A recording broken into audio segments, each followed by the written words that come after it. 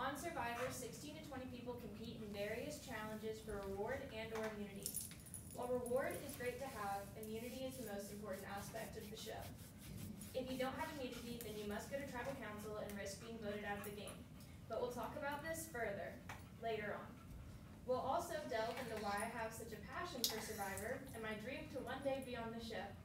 Although I don't know if this dream will ever come true, since the casting director for Survivor, said that roughly 15,000 people apply each year and they choose roughly one-tenth of percent of those applicants.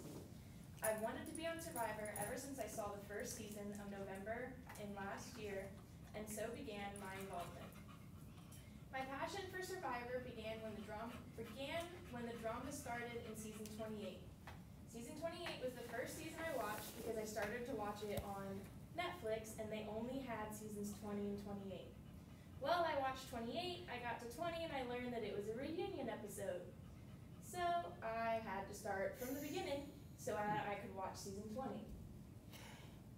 I've watched a total of 26 seasons, seasons 1 through 25, plus season 28. The episodes are roughly 40 minutes, with 90 minute premieres and finales. There's 16 total episodes per season, but I only watched 14 of these since I skipped the recap in the middle and the reunion show at the end. This means that I've seen approximately 17,160 minutes or 286 hours of Survivor since just November of 2020. Now you're probably thinking, but why? How? That's so much time for just one show. And the, answer, and the answer is simple. I just really like it. I find it to be so enjoyable. Survivor has 41 seasons total with season 41 being filmed currently and has been filmed in 21 different locations. Each season, the 16 to 20 contestants are split into tribes through various methods, with some of them being age, gender, or like you used to pick your teams back in elementary by choosing one kid and then another. Tribes compete for a reward and immunity combo initially. The teams without immunity goes to, to tribal and has to vote someone out. The team with immunity is safe from tribal, and they get to keep their members. Alliances form within the different tribes, which can help keep you safe at tribal council should your team lose. A big aspect of tribal is your torch. When you go there, Jeff says, grab a torch, which you will light, and this will be the key to your game of Survivor. So you grab it, you light it in the fire, and you set it behind you before you discuss who you're going to eliminate and eventually vote them out. Once the final vote majority vote has been read to vote someone out, Jeff says that it's their time to leave. He snuffs out their torch and says, Your tribe has spoken. Tribes merge at around 10 to 12 contestants, and individual, individual immunity and reward come into play.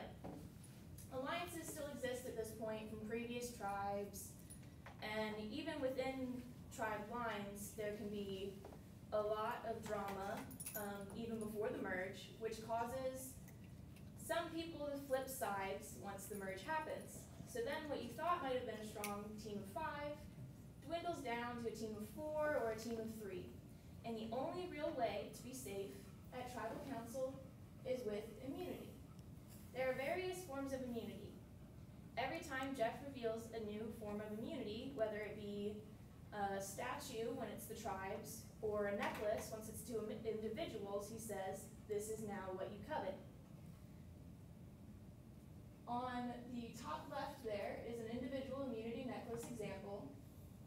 The bottom left is a hidden immunity idol, which when played at tribal council means that no votes cast towards you will count. So you're essentially safe, but you have to know the right time to play it. And on the right is an immunity idol for the right is an immunity idol for when the tribes are still together as one. This has just been a rough guideline to what the seasons of Survivor consist of because there's a whole lot more that goes into it. And the location helps to make each season great. Each slide that you've seen throughout this has had a background of a different location that's been featured on Survivor.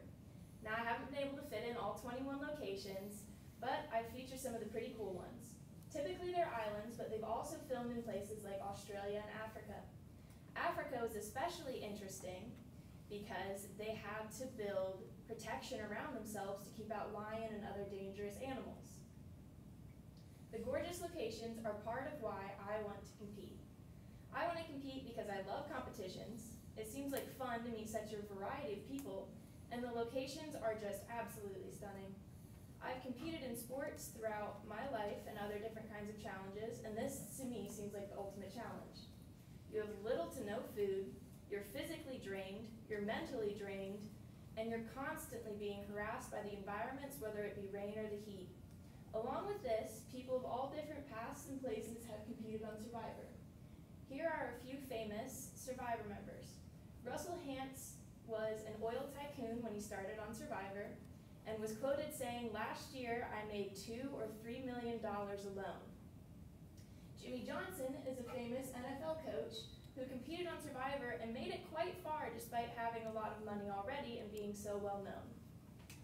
Lisa Whelchel is a famous actress from Facts of Life. She played Blair, and she made it to the finale of Survivor. I think it would be really neat to get to interact with millionaires, former TV stars, professional athletes, all sorts of rich and famous, and also to interact with the fast food employees, the teachers, and even former homeless members have been on Survivor. And I think that that's something that you can't really get in most other places. And not only that, but the locations, as I've said before, are stunning. They're often tropical, so you get torn to shreds by bugs, but you live oceanfront, and even if off, you get to vacation elsewhere. They can't just remove you from the show and put you back into the real world because everyone would know that you were voted off.